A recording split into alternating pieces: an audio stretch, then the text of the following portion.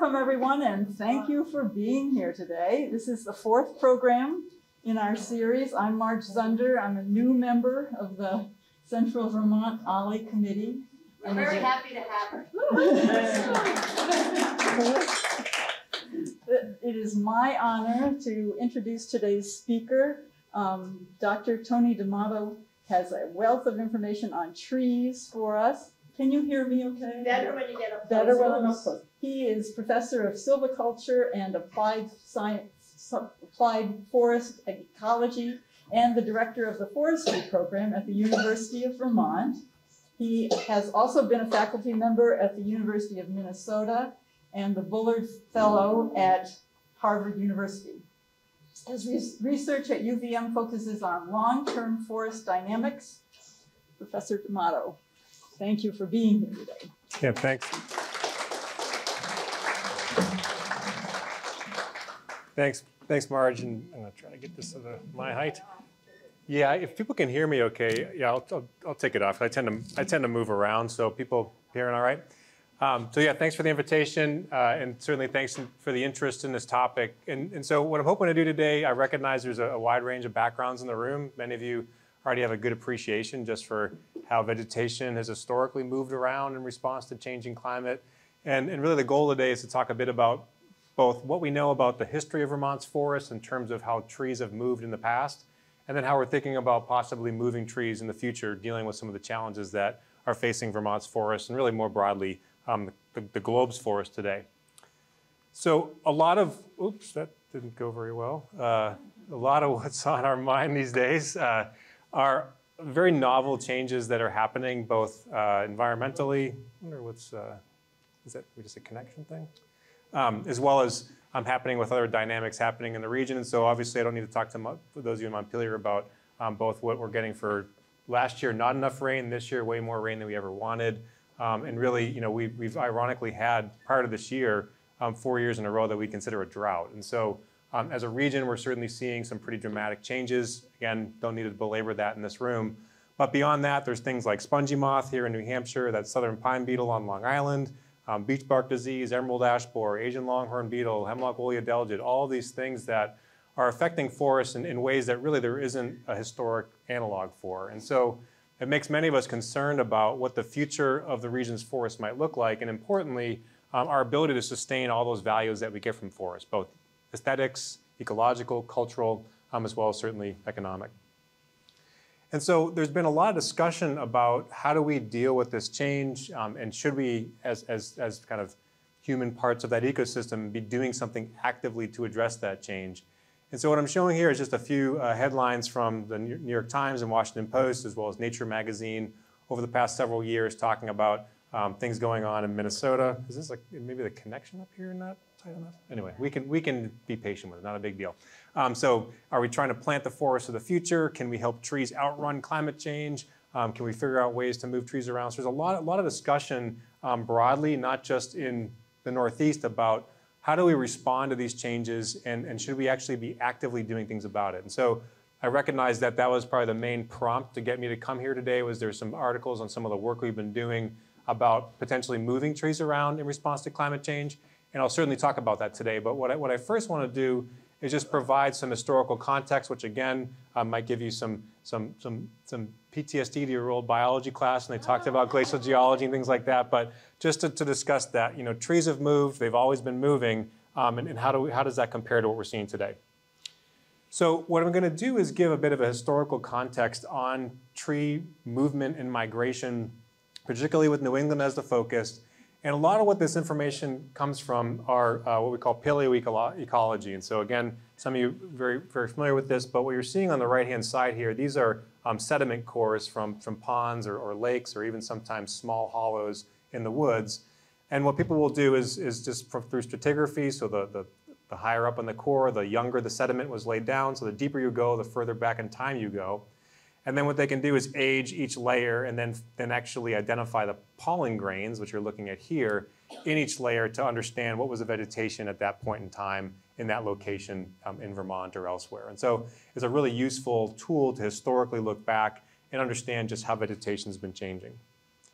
So a lot of what we talk about when we are thinking about vegetation change is, is how it responded to the last big environmental change in the Northeast.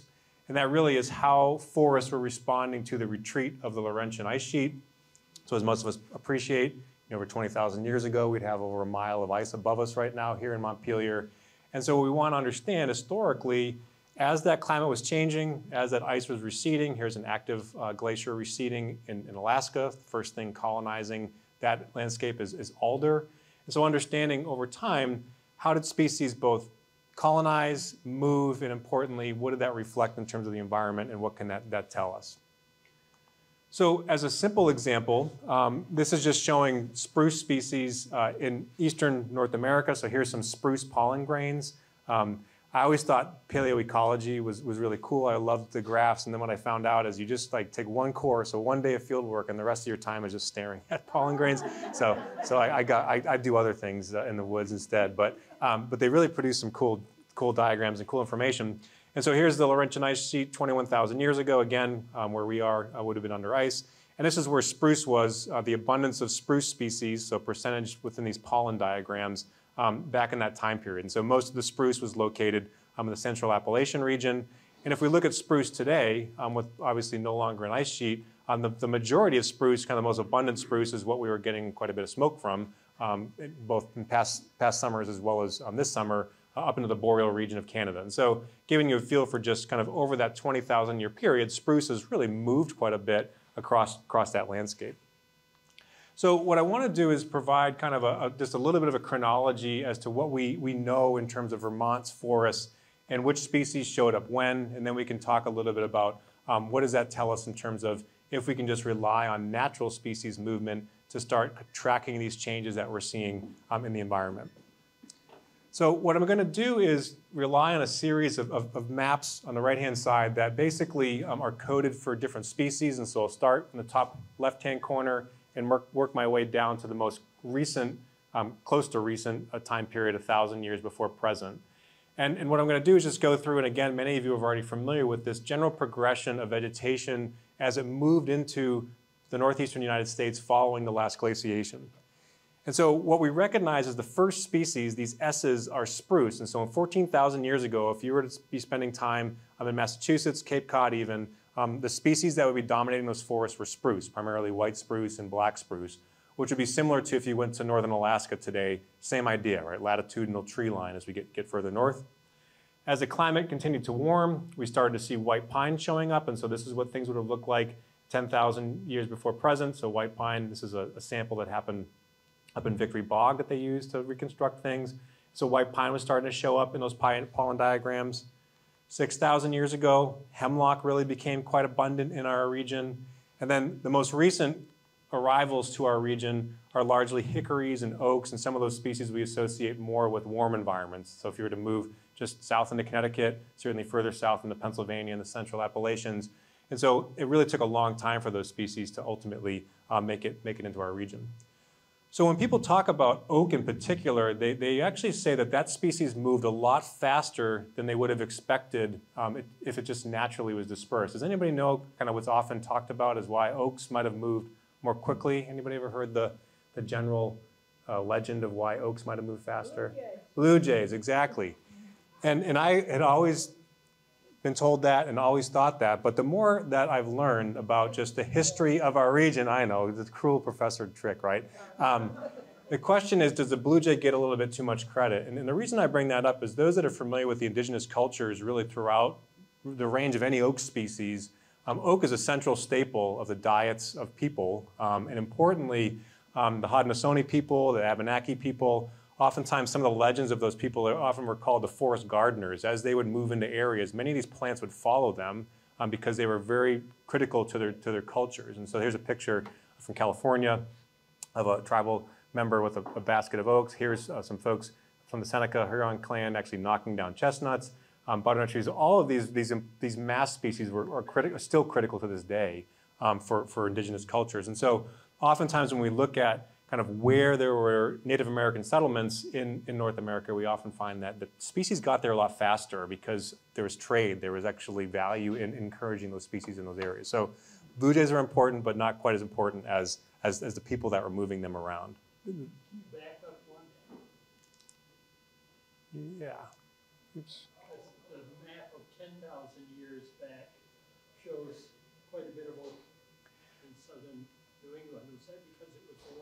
Yeah, so that was a warmer, warmer area there. Yep. And also, you were starting to pick up settlements uh, in, in that region. Yep. So definitely kind of tracking that, that, that temperature. So just to kind of, not to totally to throw, throw too much of a wet bank, blanket on the blue jay, I just want to show a little bit more about how we know that there's a pretty strong human connection to migration beyond just the, the natural.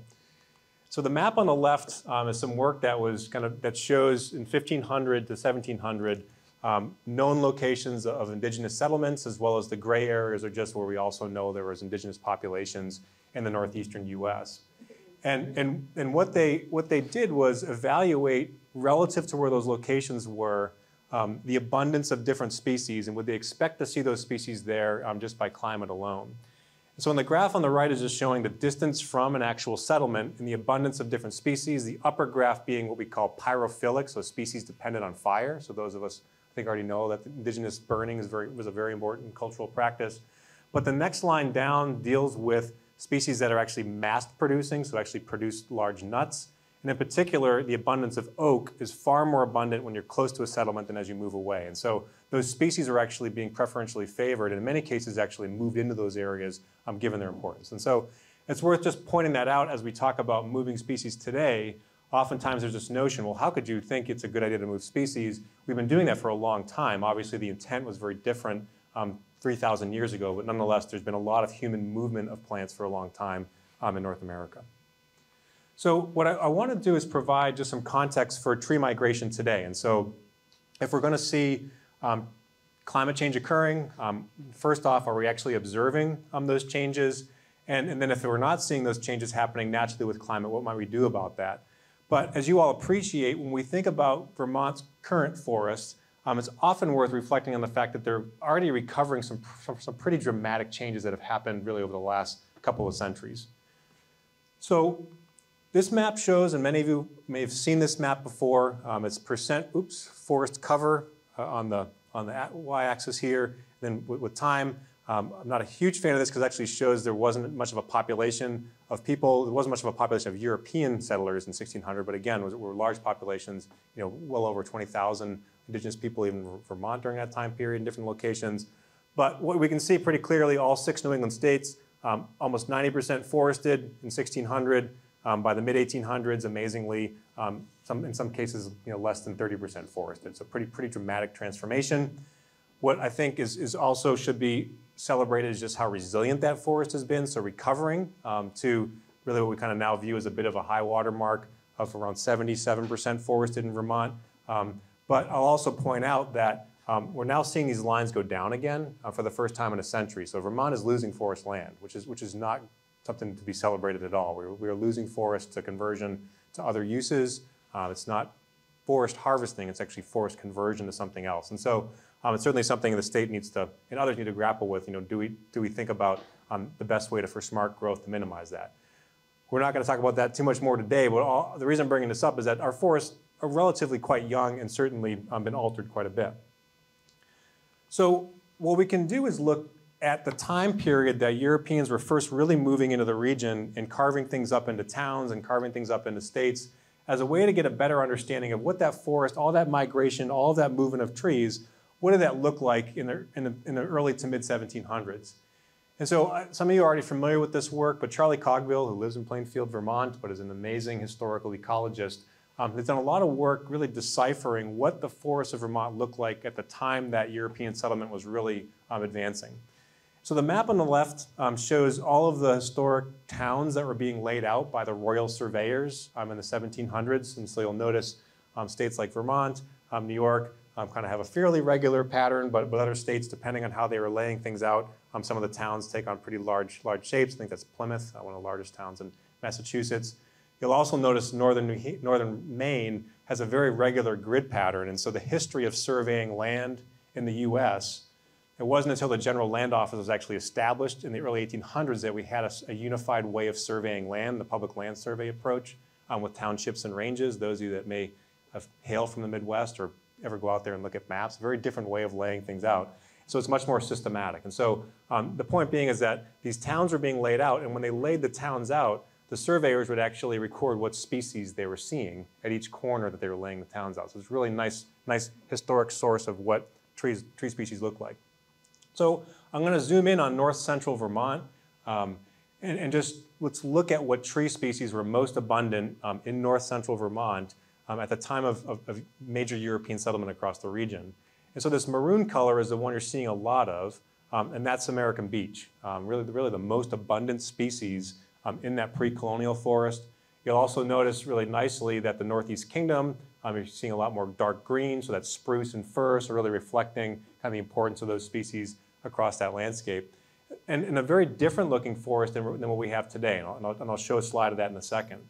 Any thoughts on, on why beech would be the most abundant species? Any, any thinking on that? Why, why, why that one, like the surveyors would record that one most often? Well, the beech, we used to have lots of beech nuts in the forest, but because it was something that the animals ate. Absolutely. So very important species for, for especially black bear, um, but other species. So, so and very common. Um, so certainly one, just a big part of our forest naturally. It's one of the species we associate with old growth or late successional forests. So these would have been areas.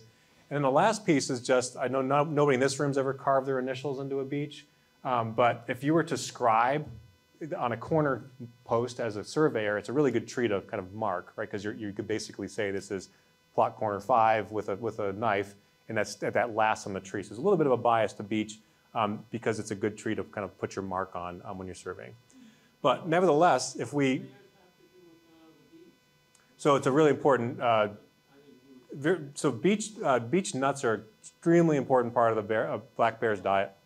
And actually, not to get too into the weeds on it, but um, the female black bears, if they don't have enough fat content when they go um, into hibernation, um, the, the embryo won't implant in terms of it, for, for, her to have cubs. And so being fat on beech nuts is a huge, important part of, the, of, of, of what, what bears do. And so we really rely on beech um, a lot um, as, a, as a source of food for, for, for bears naturally out in the woods.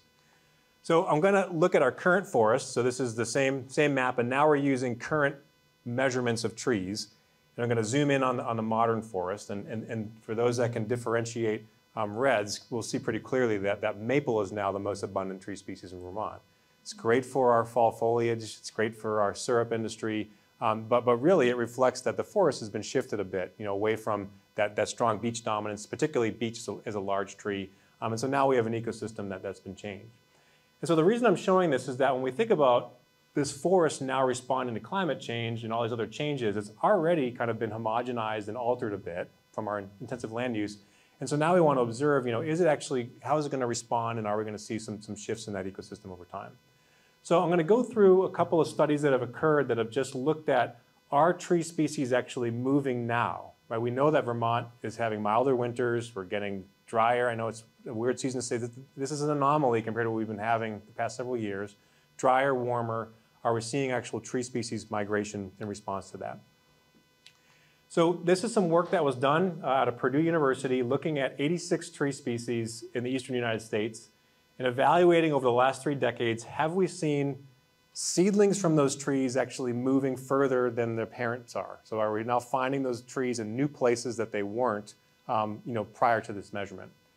And so what these arrows indicate are just the movement of some tree species. You can see that a lot of those arrows are going west and so what they found is about 73% of the tree species they evaluated have shown kind of a, a, westward migration over the last three decades. And so if we think about kind of the western edge of the eastern forest, it gets, becomes very oak dominated. We also have a lot of areas that are agricultural, and so uh, trees are kind of colonizing a lot of those areas. And it's drier, and so those species like oak are now kind of moving and tracking that changing climate. There's also been some movement northward. That's kind of what we expect 63% of the tree species actually kind of have been shifting northward. So we're seeing some movement of trees. But the question is, are those trees moving fast enough? Right? Are they actually going as fast as climate is uh, changing? So to put this in perspective, following the glacier, they estimate that most tree species traveled about a tenth to three tenths of a mile per year. That's kind of how fast they could move. And so if we look at current climate change, trees would have to go as fast as four to six miles per, per year to actually track that, right? So, so trees can't move as fast as climate's changing. This is a map just showing the velocity of climate change. So in some places, a tree would have to move over 100 miles per year to actually get as get, go as fast as climate is changing in that area.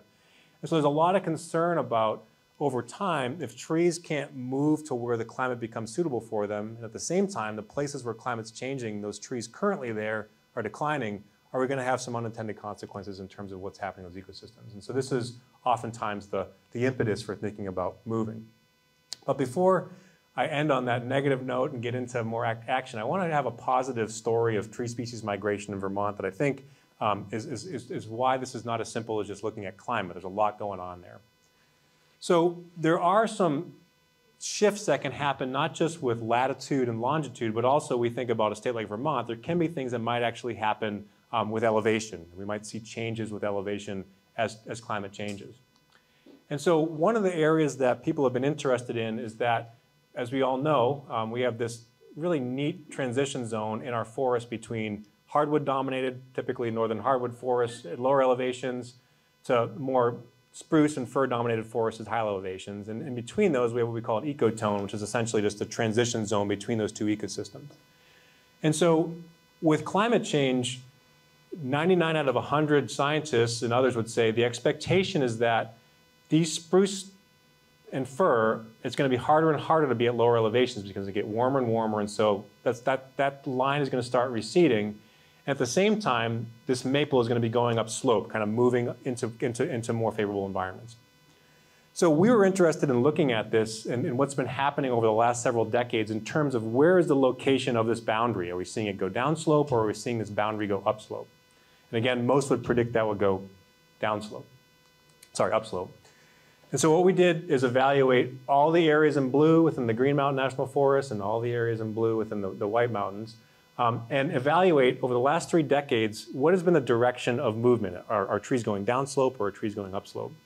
And so this is a graph just showing the distribution of kind of the average location of that lower edge. And what we generally found is that actually spruce are going downslope. They're actually going the exact opposite of everything you would predict. Things are actually moving down slope. It's not a tremendous rate, it's about four to five feet per year, but the general trend is, is things are moving down slope. So whenever that occurs, you're, you're, you have many reasons you throw at the wall um, to, to, think it through, but this one actually is pretty, pretty clear just knowing that the land use history of Vermont and more broadly the land use history of, of the Northeast.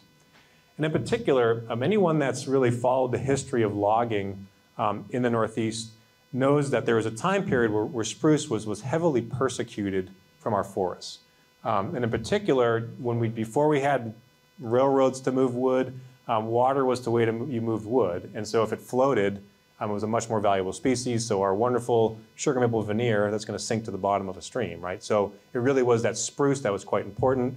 I'm from Massachusetts. I never fully knew why Holyoke was called Paper City. There's not any spruce around Holyoke but the Connecticut River flows right into it, and that was a source of spruce logs. Uh, Mount Tom, uh, there's a big mill down there for spruce. All that was coming out of Vermont, New Hampshire, being floated down these mills. And this is a picture of the last big log drive um, near Bellows Falls, Vermont. Um, you could walk across the Connecticut on logs. This is all spruce.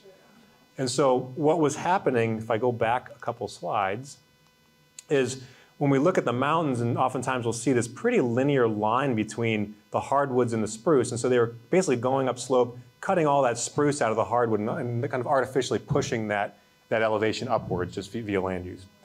And so what's been happening over the last several decades, if not centuries, is that spruce is starting to recover. Both those small spruce they left behind now are big enough to cast seed. Anybody that kind of hikes up in the mountains or, or, or think, remembers times going up a, a chairlift, you often see spruce just downslope from a mature tree that basically it's the seedlings coming off of that individual. So we're seeing this, this recovery um, both due to just the maturation of the seed source, but also um, because of the Clean Air Act. Um, spruce is very sensitive to acid deposition, and so we're seeing a lot of recovery of that species um, due to just, just better air quality.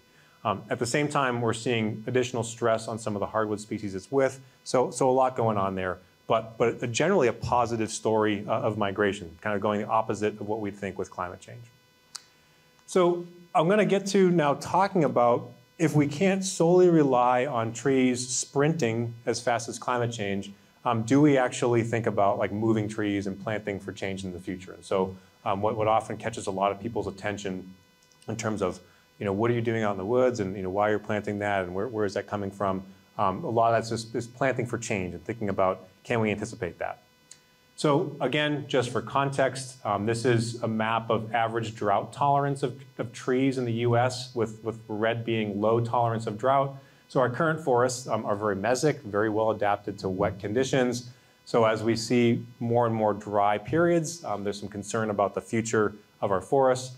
Likewise, this map in the middle, um, essentially view this as if you could see like future new perennials in your zone. Um, there's a lot of work that's looked at kind of the potential for new tree species in the Northeast if they could just run there as fast as they could. And you'll notice that estimates suggest up to 20 new tree species could find habitat in this region over the next 100 years just based on, on climate change projections. And then finally, um, just to remind you, we're talking about climate a lot, but a lot of my work deals not just with climate change, but also um, this, there's tremendous density of non-native insects and diseases in our region. Again, I already tipped my hat to growing, growing up in Massachusetts. Um, I have a youth of squashing spongy moths, um, you know, in, in, the early, early 80s outbreaks. Um, now we talk about it in Vermont because it's been an issue in, in Chittenden County, but that's just one of many non-native insects and diseases we're dealing with. And sadly, um, we gain usually one new, even non-native wood borer per every five years. So there's just something new coming every, every, even beech leaf disease is a new one we're talking about. So a lot, a lot going on there. So I work in forestry and forest conservation. So when, we, when we're talking about forest management, one of our main areas of emphasis is that if I'm going to do a harvest like was done in the foreground here in the White Mountain National Forest, um, I'm really trying to make sure I'm getting good regeneration back, you know, new, new seedlings. And so in our part of the country, we really rely heavily on just natural seedlings coming back. It's really, we're really fortunate. We don't talk much about planting at all. Really, the last big planting efforts were the Civilian Conservation Corps in the 30s. Really, we really we don't think about um, planting. And just to put that in context, so Maine obviously is our biggest player in the region in terms of forest management activities. Um, 5,000 acres of, of, forest in Maine in 2019 were planted. That's 4% of all of their regeneration activity. Really, they're relying likewise on spruce and fir. This 4% actually is uh, J.D. Irving up in northern Maine. They do a lot of plantations up there, but not, not much else. But what we've been seeing, both in terms of philanthropy. So there's the, Trillion Tree Project, the Nature Conservancy, others, they want to plant, plant forests.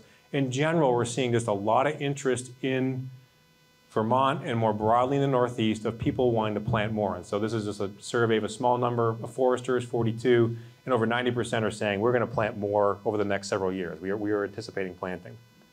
So why is it they think they're going to be planting? So we asked them, um, and kind of the main core reasons are to diversify the current forest. So just a good precautionary principle. Things are changing. Having more diverse forests is a good thing. But two of the other main reasons are to adapt to future climate and to adapt to future disturbance. So trying to think about providing potential species out there that might be um, able to do better under these changing conditions that are affecting our ecosystems. So what I'm going to talk about and, and give you a little bit of a, a, background on is just this whole notion of what we call assisted migration. Right? So basically the active movement of a tree species into an area in response to anticipating change that might imp impact either the current ecosystem um, or in some cases trying to move a species into an area where it might find more suitable habitat. So there's three kind of flavors of assisted migration we talk about in forest adaptation. So forest adaptation being kind of active management, trying to adapt um, the ecosystem and kind of our expectations of those systems. And so one of these is what we call assisted population expansion. And so this one I view as kind of the least controversial. What we're doing is largely moving a species a very short distance within its current range. So we're not kind of going north of where it currently is, we're kind of moving it within its, its current distribution. The next one, assisted range expansion, as the name implies, we're actually moving that species beyond its current range and essentially moving it to where you would expect it to be if it could just sprint as fast as climate was changing. So we know this spot right here is now going to be suitable for that species, but there's no way it can get there based on just a natural movement across that landscape. And the final piece is the, is very controversial one, one we don't do very much of uh, in forestry, but assisted species migration. We did a lot of this historically, Scots pine, Norway spruce, all of the Norway maple, you know, bringing species from other countries and planting them here or, or, or moving things long distances. So this really, this really involves kind of large distance movement from outside of a species' current range to a, to a new, new region. And, and basically, this is often talked about mostly with kind of rescuing species that might be imperiled in their current range and moving them to new regions, and, and definitely can be, um, you know, quite quite controversial. You just don't know how well it's going to do in a very novel environment. So I'm going to show a diagram just to, to kind of reinforce what I'm talking about here. And so again, on the left-hand side, this is assisted population expansion. So the green is the current range of this tree species. And so what we're doing is, is just kind of moving that species within its current range and in many cases often increasing the representation of that species in areas where it might be a minor component. So red oak is a great example for the Northeast. You know, we don't think of red oak being a big part of Vermont's forest, but it's out there, you know, in small amounts. But based on future climate change, most suspect it's going to really have a lot of suitable habitat. So we might actually plant that or augment the population.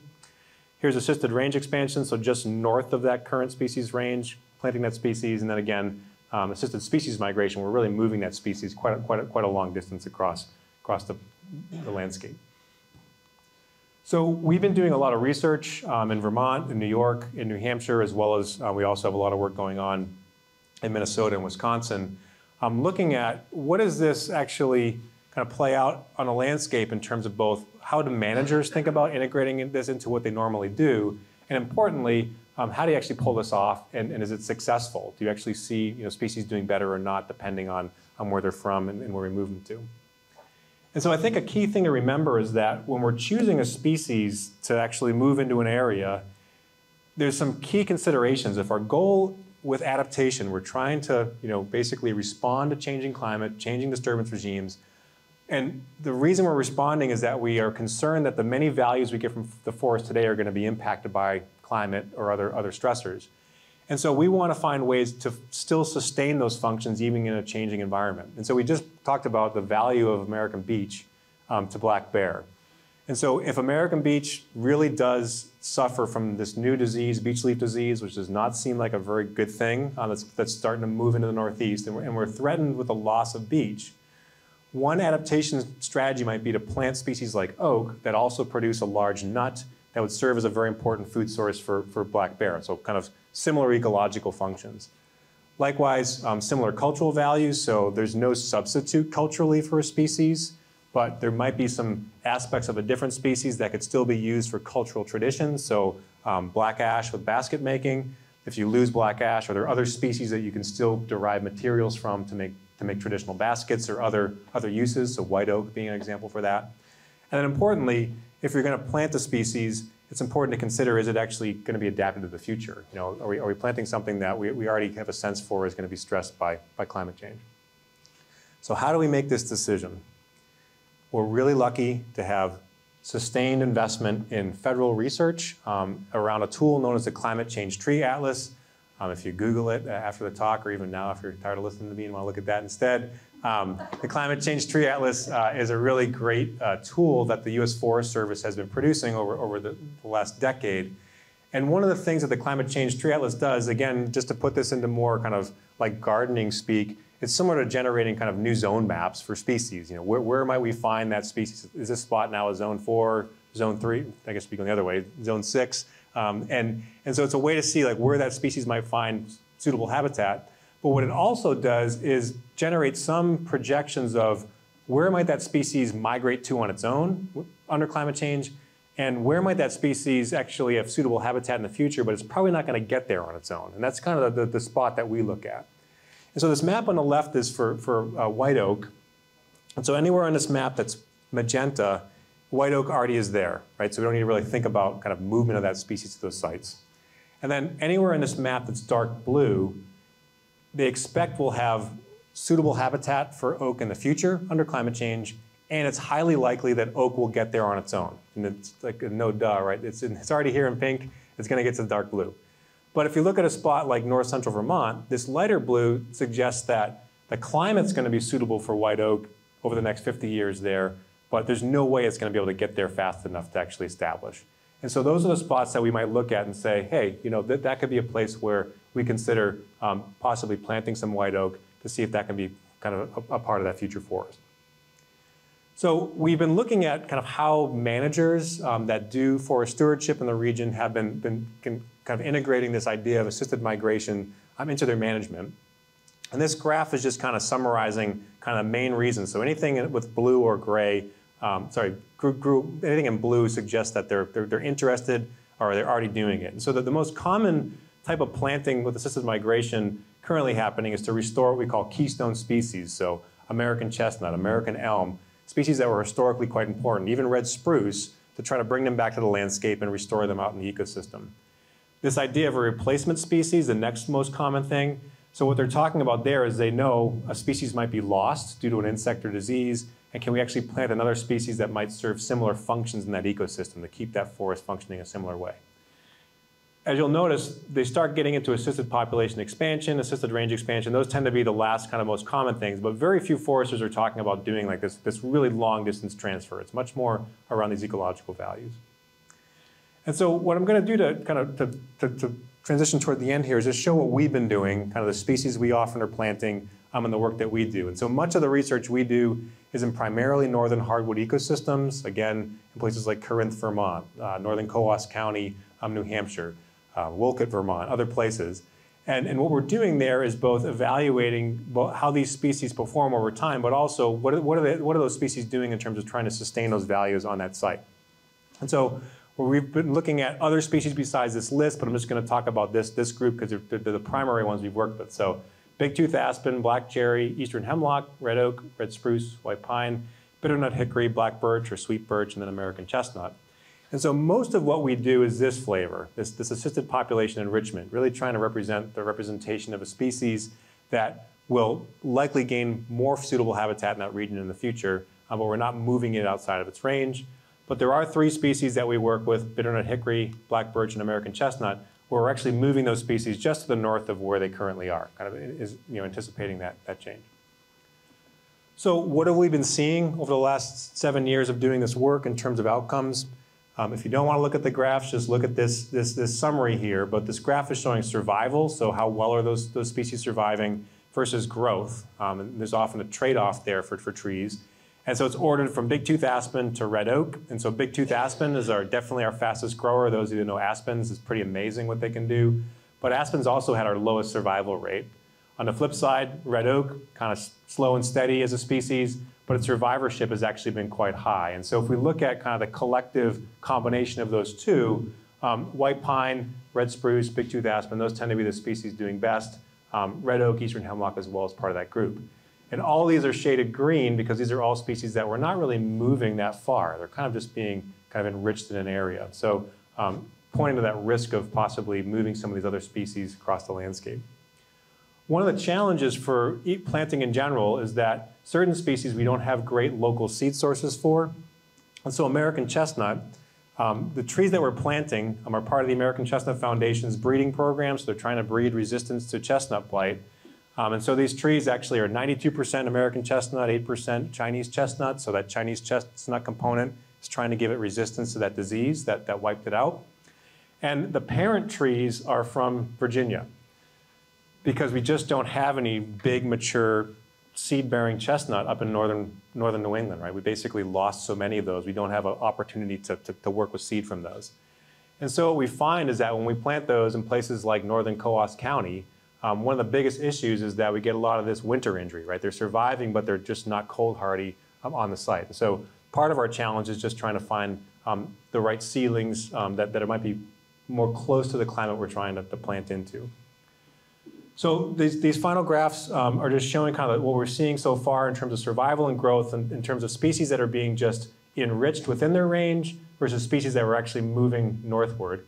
And you'll see generally survival is higher um, with population enrichment as well as growth is higher um, between those two populations. And what this really speaks to is that a lot of the changes that we're anticipating and a lot of the shifts in species um, ranges that are expected to occur really are, are projected for like 50 years from now, right? So we're planting today for a change that might not fully manifest itself in the future. And I, and I hope it's a hard, cold winter. I like when it still feels like Vermont. But if I'm planting a tree that's actually going to be better adapted to Vermont's winters in 50 years right, right now, it might not do well um, in our environment. So there are different things that certainly create issues. Nonetheless, a lot of how we look at this, and if anybody in the room ever did dabble in forestry, um, this would be viewed largely as a failure. Survival rates of that low, you know, normally when, when we're doing reforestation, we're talking about 85, 90% is kind of what we're looking for. But with this type of planting, really what we're looking for is that even if 10% of the bitternut hickory we planted today survives to 50 years from now, what that now represents in that region is a seed source for a species that's going to be far better adapted to that spot than the current forest. And so we're really, really thinking more about kind of enhancing that potential for adaptation in the future as opposed to um, you know, just trying to re reforest with these new mixes of species. So the last thing I'll mention um, to, to, to, end is that planting trees is, is, is not as simple as all the kind of again trillion tree, billion tree initiatives, all the things we hear about. You know, we can plant you know, plant our way out of climate change. Um, there are some pretty significant logistical hurdles that we learned out the hard way because I think we're the only people that are really trying to plant a lot of trees right now um, at the scales we do for our research. And that is, um, we don't have much for, for nurseries. Anybody know where the State Nursery of Vermont used to be? There used to be a nursery that grew seedlings. You could buy seedlings. Uh, anybody know what town that's in? Essex, awesome. Yeah, so the Essex, where the there's soccer, there's a soccer field plus the Vermont Forest Parks and Recreation. Um, State of Maine closed their nursery in 1988. Massachusetts, H.O. Cook State Forest, that was their nursery. The only New England state that still has a nursery is New Hampshire, and thank goodness we still have that nursery. We buy a lot of seedlings from them. But generally, we do not have a lot of places you can buy trees from. This is not just a, a Vermont or New England thing, it's a, it's a nationwide thing. Um, we just do not have enough seedlings to go on the landscape. And so what we've been doing is trying to understand you know, what is actually out there for us to plant. And so this map here, the first thing I want to point out are all, all these little delineations. Um, those are different seed zones, right? Again, think of that as kind of if I wanted to plant for a certain hardiness zone, same idea. And this is for red oak. And, and, and so anything that has any shade of, of green in it, you can actually buy seedlings from that zone. Um, so if I really wanted to be intelligent with my assisted migration, which obviously I haven't been, and I was going to plant in, you know, Corinth, Vermont, the most logical source for red oak would actually be from this seed zone, right? The, just south of it. I want, I want, I still want red oak. I don't, and I, I want oak that is maybe a little bit more warm adapted, but it's not a huge, huge move for that species.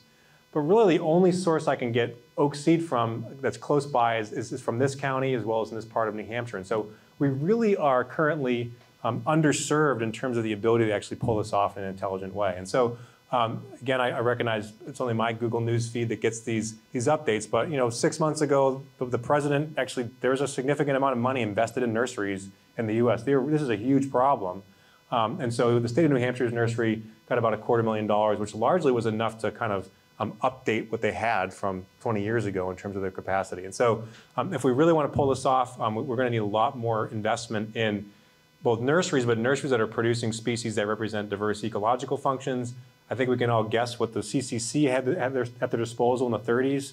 Red pine, Norway spruce. We see it all the time now in our landscape, and that probably wasn't the best ecological decision um, to plant then. And so trying to build this capacity um, is a key piece.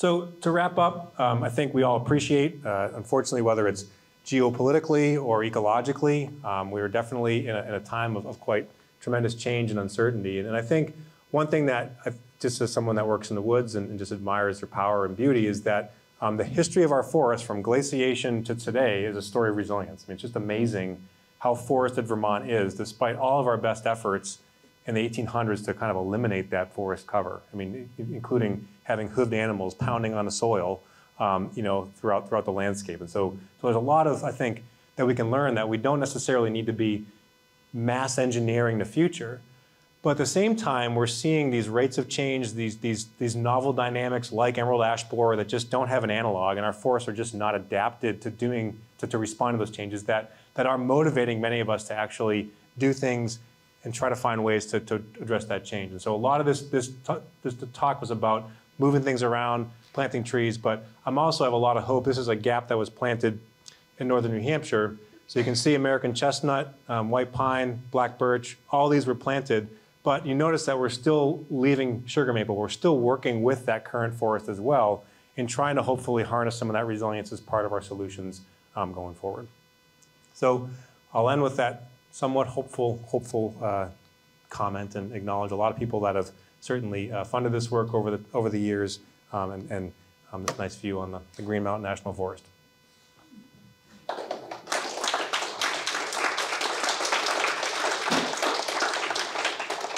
Tony, are you seeing, you mentioned a lot about, um, migrating the trees, and how much, I know it takes, you know, e- eons or many Could you years, repeat are the you seeing, question? I will. are you seeing, um, adaptation? Are any of the trees adapting to the changing climate that you can see yet?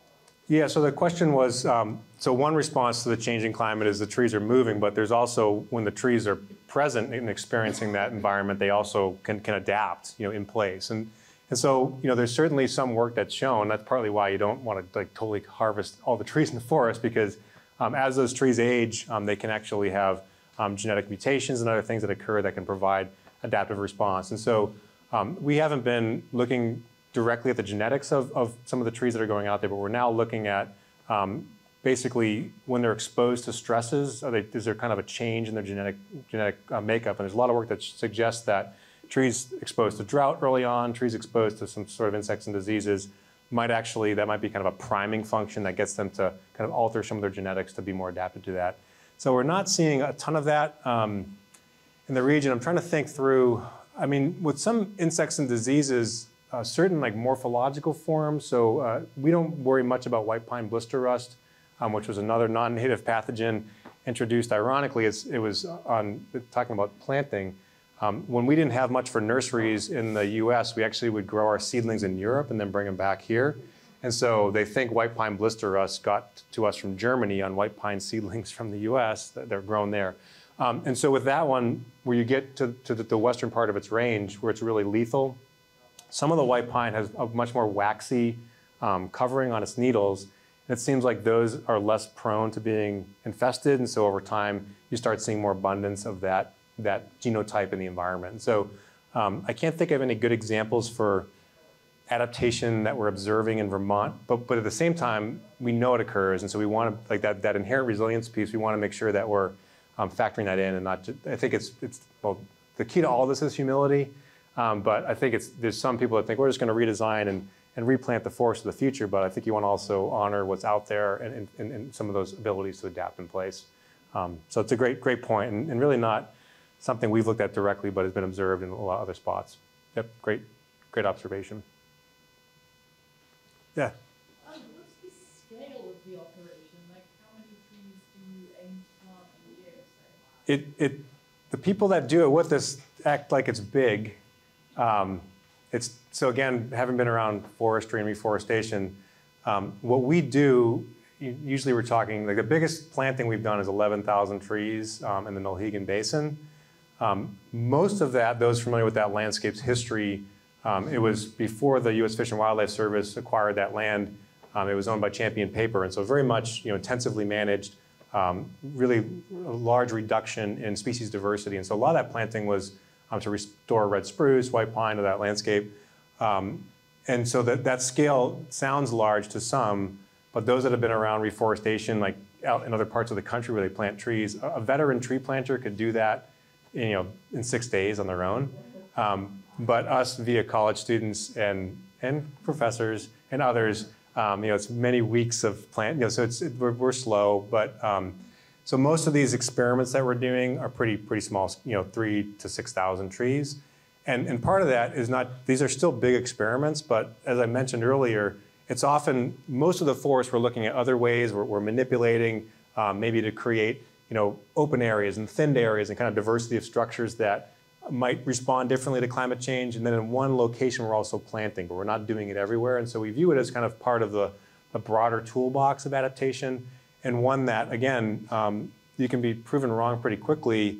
Um, and so doing that over large scales and kind of, and kind of clearing forest to do that is just not something we're, we're advising. But there's, a, again, another, another thing to, to look at called a reforestation hub that the Nature Conservancy um, developed that really looks at parts of the country where there's the potential to add forest for carbon climate mitigation. And so the scales are talking about the, you know, tens of thousands of acres of planting um, to establish new forest as a way to try to kind of offset that. So that, that's a, some pretty big scale planting being talked about. Um, but, but in Vermont, given we don't do much for kind of large scale management to begin with, oftentimes they're kind of finer scale um, operations. They still seem big logistically um, for all of us that, for those of us that haven't spent much time around um, like the southeast or other parts of the country they do, where they plant you know millions of trees each year. Um, but but here um, it's a, it seems like a lot. Yeah. You mentioned, you looked at reforestation in northern Maine, and there was a fair amount. Is that still monoculture for logging? Yeah, so um, JD Irving Corporation, uh, so Irving Gas, same same company based out of New Brunswick. Um, so JD Irving has quite a bit of land up there.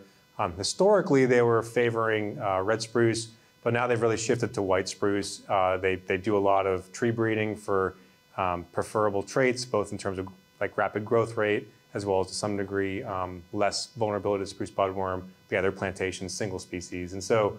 Um, that's not what we're talking about here. We're, we're, we're, trying to think about diversity, kind of, a, kind of a mix of species across the landscape. And in many cases, those single species situations are what we're trying to move away from. Right? That, that's a very vulnerable condition. Um, and, and, partly, even one of our challenges as, as, a state, if something ever came into Vermont that would, was going to wipe out maple, like we're in trouble because we have so much. I love the maple we have, but we have so much over so many areas that um, trying to diversify that's not a bad thing when we think about insects and diseases or climate change impacts. There's, but yeah, the hand over here. I wanted to ask about what happened to the butternut tree because I, as a child, I used to pick butternuts with my grandfather to make add to the maple candy. I also wanted to ask about where is the uh, nursery in New Hampshire? Yeah, so the the, the first is the, the butternut tree. So that um, there's butternut canker, another introduced disease um, has wiped it out. And uh, so butternut, as that, that placard from New Jersey was showing, um, as you mentioned, really the nut, the, relative to walnut, it's kind of like the, the, the, yin and yang. Um, you know, walnut quite bitter without, and, and also from a walnut, if you ever try to grow grass beneath it, it has a kind of a, a has a natural chemicals it releases that kill uh, vegetation. Butternut, very very rich uh, forest species. Um, we see it occasionally lingering um, in places where there's really good soils, but it's just one or two butternuts. Uh, but those are wiped out by an introduced canker, so there's very, very few butternut left in, in, in, the, in the state. And again, culturally, was so, such an important species, just, just as a source of food for wildlife, source of food for people. Um, and so it's one of many examples. I mean, the Northeast, um, our history of, of trade um, and the fact that we have like the Port of New York, um, even, you know, the, there's just so much coming in and out every day. And it, all it takes is one pallet that's got a, an insect in it or one um, shipment of plants that's got a disease in it. So global trade has really contributed to just more and more insects and diseases coming into the country. And so butternut canker is an earlier example of one. Chestnut blight, um, many of those that came you know, early on when people were shipping plants around and not really inspecting them or thinking about it.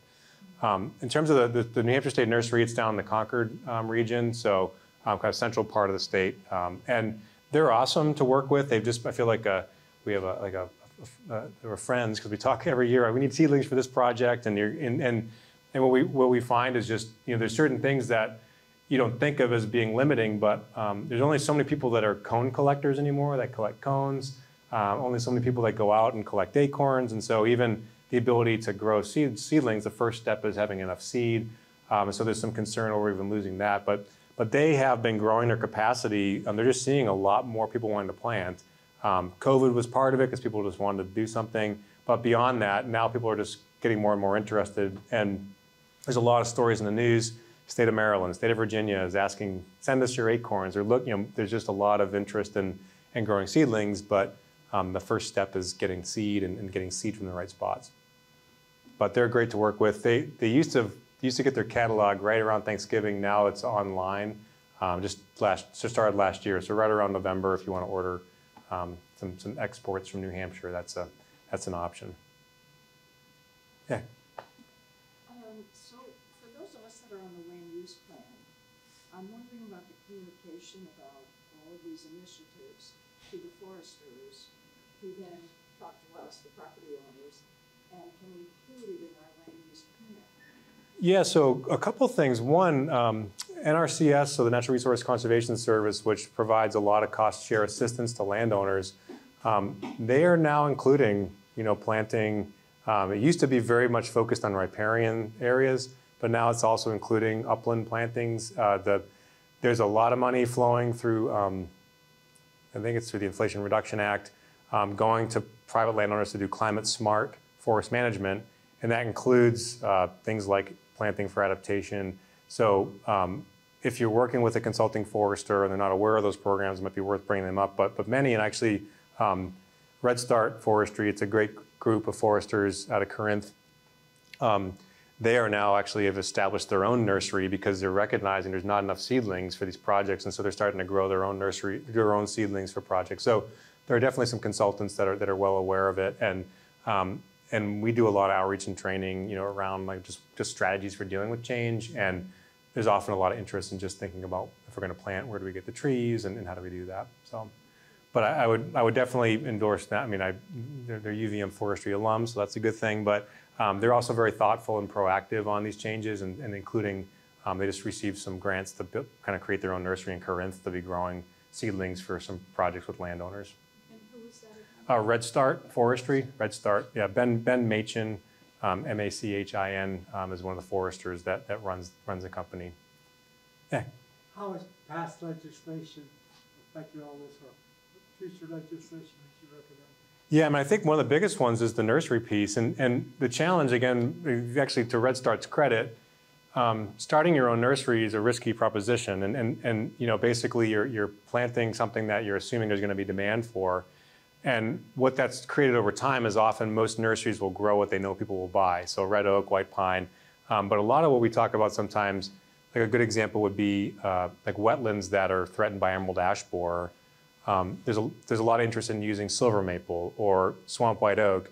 Those species aren't commonly produced at a nursery because you know there just hasn't historically been a lot of demand there, and so providing some of that cost share assistance, or even you know, they can't kick out the soccer fields or the, the or the the offices in Essex, but um, if the state's serious about a lot of the work they're trying to do, both with riparian reforestation, but also more broadly, I think there's there's a need for more investment in that, um, and just in terms of nursery capacity. I say the state of Vermont writ large, the, we're the first state to have a climate forester. So as a state, we're pretty darn progressive in terms of thinking about um, adaptation. And actually, we're the first state to have a formal policy in assisted migration. So they, they do have um, a lot of thinking going in around this. The challenge is that that policy is pretty strict in terms of where you get seeds from and seedlings from. And so I don't think it fully recognized that it's not as easy. You can't just go to Walmart and pull off the shelf, I want like the southern seed zone for red oak or the Windsor County red oaks. So, that, so I think there's some logistical hurdles. Um, and then also just, uh, I'm hoping this uh, climate conservation service they're talking about, um, part of it will be just getting, labor is a huge shortage too, right? Just getting people out there to do this work. Um, so I think just policies like that can be important. But the biggest one is trying to keep forest forest. I'd, say if I, if, I, if I had like one chit to play in a state house, it'd be that we, we're losing forest land as a state. Um, we're losing large forest blocks because we're, we're still allowing houses to be thrown in the middle of like 500 acre chunks of woods. And so forest fragmentation and forest loss, I mean, I- I'm talking a lot about trying, and this is a good example. Green Mountain National Forest, we're super lucky, that's conserved. I mean, there's no risk of there being a house put here. Um, and so we can think about how to manage creatively, but once this is a house or a solar array, we've kind of lost that like incredible natural climate solution, that, that incredible fabric. And, and I think there's not enough attention being paid right now. I mean, because there's been a bill in the legislature for a long time now on trying to, you know, modify uh, building and zoning to, to minimize fragmentation. And it hasn't gotten, you know, the governor's been vetoing that. So I think that to me would be the one, the one shit I'd play. You know, independent of seedlings and nurseries, it's just like keep forest forest. I mean, that's so so important to all of us, and globally, it's so important. I mean, we are a important part of the carbon budget, so keeping it keeping it wooded is critical. Yeah. So the woods behind me, there is a, uh, zone running between sixteen and seventeen hundred feet, which has a lot of beech, olive beech bark disease. What is the most likely succession plan? Yeah. And so, so just to repeat the question, so she's got an area that's got a lot of beech bark disease, and I think most of us are familiar with um, beech bark disease. I don't want to get you dizzy going backwards here, but I can give you a picture of a, a really challenging spot. Yeah, I'm bringing back all these bad memories. All right, almost there we go. So this is, uh, ooh, you're not going to see it now. This is an area that they. oop. It's really bad. Uh, so this is an area, you can't see it very well, but this is all beech uh, suckers, and then there's like declining beech in the overstory. So beech bark disease, another non-native scale insect. So the, the, the, the disease part is a, is a native canker, Nectria. But the scale that causes the wound in the beech tree that then allows it to have the, the disease is actually was introduced. And unlike most introductions that happen to the south of us, um, this one actually happened in Nova Scotia in the late 1800s and then moved its way. And so if you, if you grew up in Maine or um, went to Maine and said, what is that tree that looks crazy with like shotgun marks in it? Um, it's, it's probably most severe there because it's been there longest. Um, and if, you're, if you've spent time in southern New England, like I grew up in Massachusetts, like I mentioned, I still remember these big beech that were smooth, looked like elephant legs, you know, and so beech bark disease hadn't quite gotten there yet. So in Vermont, it got here in the 50s and 60s, um, and what it largely does, again, recognize many of you are aware of this and what she's describing, is it stresses the overstory beech. Um, it causes them to root sprout, so send up um, sprouts from the root system. And then beech is extremely tolerant of shade. It's actually the most uh, shade tolerant hardwood species. And so it can kind of develop these thickets of beech beneath it. And so when we think about climate change and climate change impacts on beech, um, you know, usually the way I, I, interpret projections for beech is that this is one tough species that's hard to like see moving and, and, and leaving. And so a lot of these places will continue to be just sprout origin beech. The real concern I have right now, and I mentioned this a minute ago, and I don't want to make this all about gloom and doom, um, but there is a new they call it a, a, disease affecting beech called beech leaf disease. It's starting to make its way into the popular press. Um, it's primarily been in Connecticut, Pennsylvania. Um, it's unclear, it was, it was, unclear initially what was causing it, but I think it's actually a nematode um, that's affecting the beech and it causes the, the leaves to look all crinkled up. This was the worst year to look for it because of that, that late season frost we had. Every beech looked like it had beech leaf disease after that frost.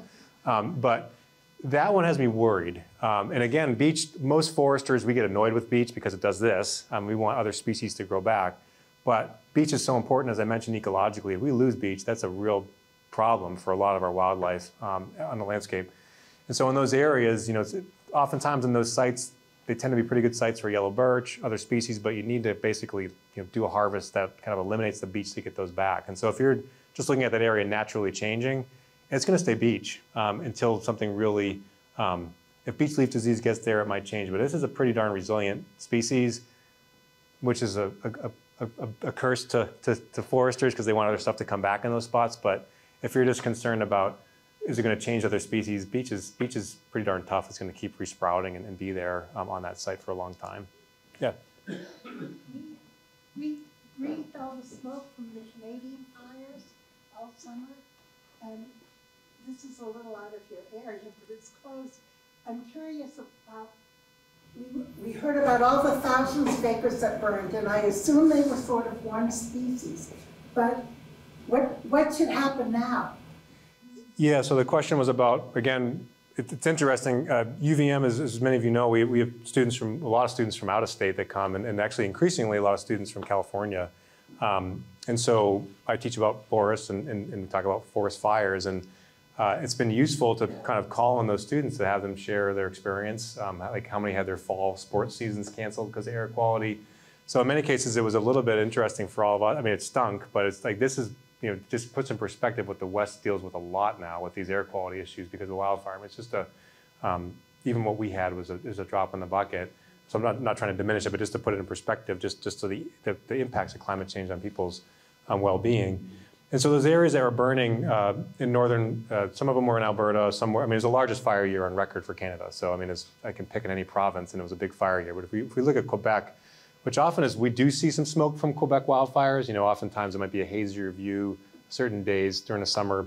Um, so most of those are, are boreal uh, black spruce uh, forests. So they are pretty uh, monospecific.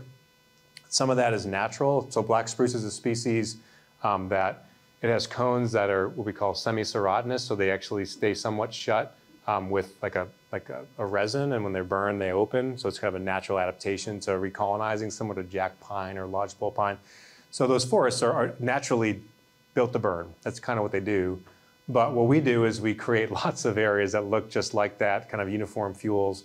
And again, kind of to go back to um, you know indigenous stewardship, there's a lot of discussion about um, use of fire by First Nations people historically in that boreal region and how it almost was used as a way to provide um, buffers and safety from those. So that often would encourage hardwood species, less flammable species around where they were, and we kind of break up that like giant monolith of, of flammable forest. And so those definitely were forests that naturally would burn, but the scales they burned at were both a, a function of climate change, just warmer, drier conditions, but also a function of what we do to the land, which is often create homogeneity over large areas that are just very prone to, to big scale disturbances.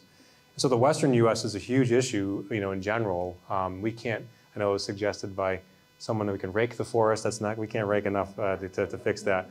Um, or, or even, but even like forest management, you know, you're, we, we, we know we should be thinning and you know, re reducing fuels, but it's such a, the, the magnitude of what needs to be uh, impacted is so great that, you know, it's just, just, just impossible to tackle. And so a lot of the emphasis of the government on like funding nurseries is because they know we're going to have these big fire events. How do we go back out there and reforest?